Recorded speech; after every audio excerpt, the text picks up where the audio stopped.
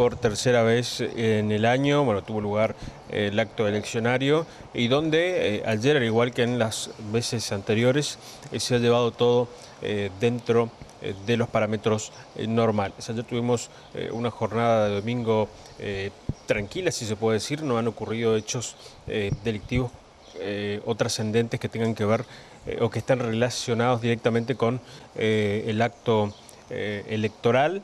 ¿sí? Ayer también estuvieron trabajando eh, todas las comisarías donde se estuvieron emitiendo las constancias para aquellas personas que no han podido votar.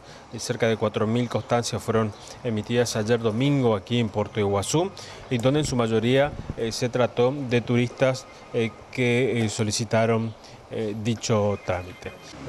una importante cantidad de turistas estuvieron aquí en la ciudad de Puerto Iguazú, teniendo en cuenta que al área de cataratas ingresaron eh, cerca de 3.500 eh, personas. ¿sí? Eh, fueron en su mayoría turistas los que solicitaron el trámite y también otras personas con domicilio aquí en Puerto Iguazú, quienes no han podido usufructar por diferentes motivos, entre ellos el extravío del documento o en otros casos porque no se encontraban inscriptos en el padrón electoral.